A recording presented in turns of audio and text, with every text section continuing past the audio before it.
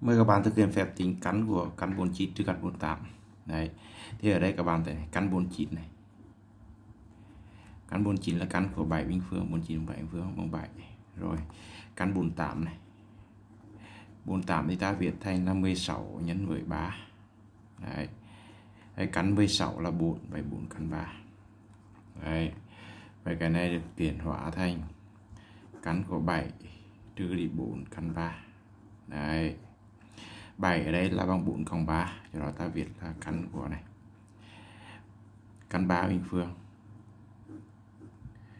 Cộng với 4 là 2 bình phương. Đấy.